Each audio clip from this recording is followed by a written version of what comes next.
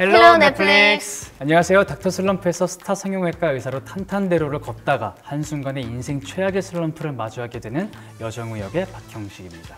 네, 저는 공부와 일 말고는 아무것도 할 줄 모르는 번아웃 증후군에 걸린 마취과 의사 남하늘 역할을 맡은 박신혜입니다. 저희 닥터 슬럼프는 각자의 인생으로 서로 탄탄대로를 걸어오다가 네. 최악의 상황에서 이제 서로 마주하게 되는 정우와 하늘의 그런 맞아요. 이야기를 그렸는데요. 슬럼프와 번아웃을 서로를 만나서 극복하는 내용이 주된 로코입니다. 어렸을 때부터 굉장히 공부를 잘하고 남부러울 것 없는 이제 또 스타 성형외과 의사가 돼요. 그래서 굉장히 탄탄대로를 걷다가 의문의 의료사고로 인해서 어, 인생 최악의 슬럼프를 맞이하게 되는데요. 그때 이제 하늘이를 만나서 성장을 그린 캐릭터입니다. 어, 하늘이는 정말 공부와 일만 바라보며 열심히 살아오던 친구인데요. 열심히 하면 행복할 줄 알았던 하늘이에게 번아웃이 찾아오면서 모든 것을 내려놓고 우울증과 그런 치료를 받아가며 극복해 나가는 인물입니다.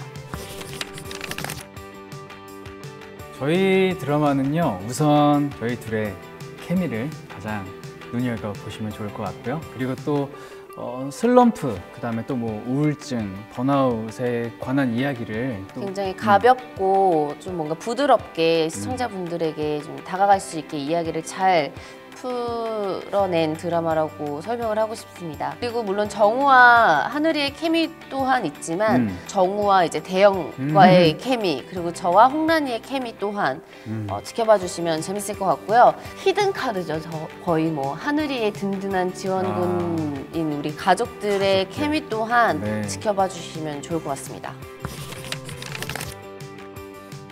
아, 저는 네. 물론 저희가 이제 교복을 입고 찍을 때마다 약간의 우리가 죄책감을 느끼면서 찍었다고는 했지만 음. 그 안에서 정말 유치하게 대결하는 장면들 개인적으로는 재미있었던 것 같아요. 촬영하면서도 정말 유치하게 촬영을 했거든요. 저는 그 술 한잔 음. 하자라고 말하기 전에. 전에 그 장면이 그게 이제 정우와 하늘의 어떠한 이제 그 각자의 상황을 이해하게 되는 순간 저 어찌 보면 그 이제 이야기의 시작이라고 시작입니다. 좀 생각이 들어서 저는 굉장히 좀 좋아하는 장면입니다. 어 뭐 말해 뭘 하나요? 1000%죠. 100%.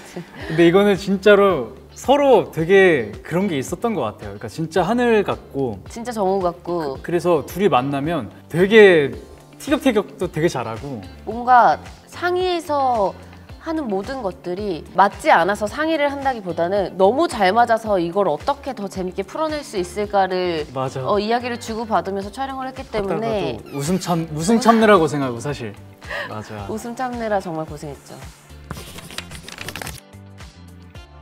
맨 처음에 그냥 되게 가볍게 그러니까 뭐 제, 어, 제목만 뭐 닥터 슬럼프고 뭐 어찌됐건 그냥 하늘이랑 정우의 어떠한 이야기들이 어, 더- 이야기의 주된 내용이니까 사실 막 그렇게 생각 안 했다가 수술실 한번 찍고 어 정말 고생을 많이 했던 생각보다 너무 쉽지 않더라고요. 의학 드라마를 함부로 도전해서 어, 함부로 도전해서는 안 된다라는 거를 좀 간접적이게 조금 느꼈고 그러면서도 아 정말 이 지금 현재 계시는 의사, 어, 의사. 선생님들에게 또 존경심이 또 생기고 실제로 음, 저희 이제 수술 장면 찍을 때 그 선생님들께서 자문해 주시는 자문해 주시는 선생님들께서 같이 현장에 계셨거든요. 그러면서 이제 더더욱 더 respect 어, 존경심과 맞아. 얼마나 이제 대단한 분들이신지 소중함을 느꼈죠.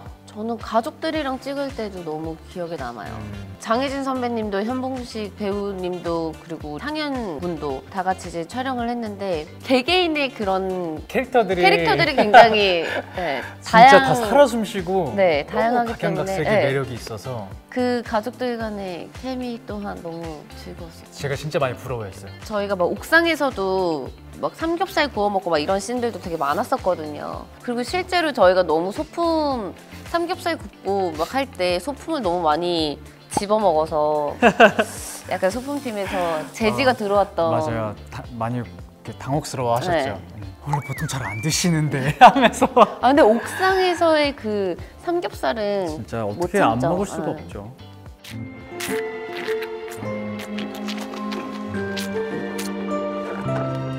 망가질 대로 망가져버린 삶의 끝에서 10년 만에 다시 만난 정우와 하늘의 이야기는 넷플릭스에서 만나실 수 있습니다.